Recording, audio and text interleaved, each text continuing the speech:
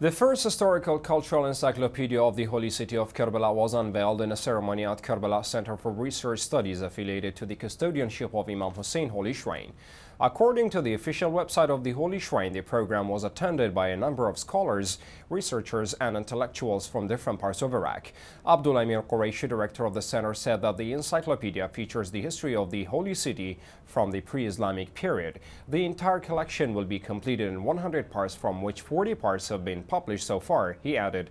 It covers geographical, historical, social, political, and economic issues, as well as the important events in the holy city, he noted. The director said that the different jobs, proverbs, clothes, and other, other items related to the lifestyle of the people in Karbala have also been introduced in the encyclopedia.